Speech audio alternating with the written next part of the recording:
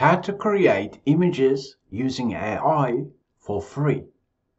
In 2025, AI image generators are plenty to choose from. But some of them are free and yet some of them are paid. Or some of them give you free credits to begin with. Then when you reach the limit, they end up charging you. So in this video session, I'm going to show you the free options as well as a couple of others that start with free.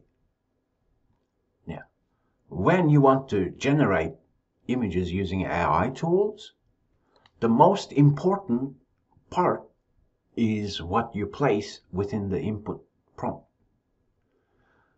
What I suggest to you is to think of the AI tool as an artist that you're talking to using prompts.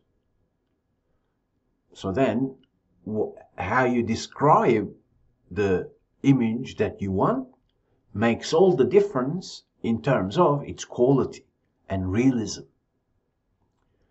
In this example, create a realistic image of a flying panda.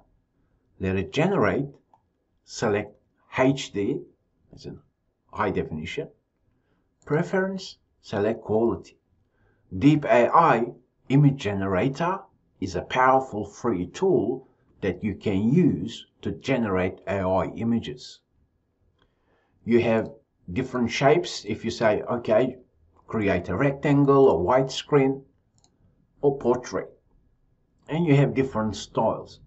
So it's just matter of experimenting. You can enhance, remove background quickly and easily.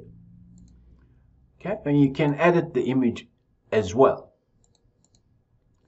Let's say remove background. Let's edit. And now it's giving you that, as you can see. So this is a free tool that's very powerful and it creates beautiful, realistic images.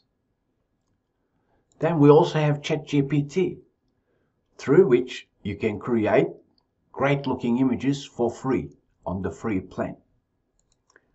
Now I've created some samples. I'll zoom in. These are sample prompts. So you can pause this video and take a look. Let's imagine I want to ask the AI tool to generate this here. Let's see what happens when we do that. And if I'm not happy with it, I can say include couple walking in. Okay, let's just remove that prompt. Include a plane flying at a distance. At a distance. Let's see what happens. So it's just matter of experimenting, experimenting. And this is how you use AI tools for what they're worth. ChatGPT is reasonable, but deep AI is powerful. Then we have Canva. You can perhaps use it to begin with.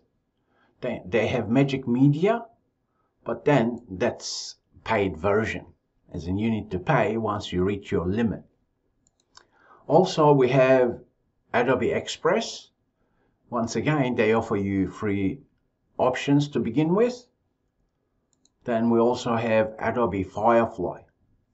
Basically, to be able to generate beautiful looking images for free, use Deep AI in 2025 because their data set and their understanding of the prompts is powerful. Now, once you're happy with the image, here the recently they've added talk the image, but I'll skip that. You simply download. If you're using, let's say, Photoshop and so on, when you download it to your local computer, if you can't open it for some reason, as you can see, it won't open in Adobe Photoshop. Then what you can do is you can download a free program called GIMP. It's an open source free program. That means you can open whatever the file you've downloaded from Deep AI, okay? Let's say that wouldn't open or that wouldn't open. Let's open that. And then from here I can export. I'll show you that as well. Export as, let's just change the file name.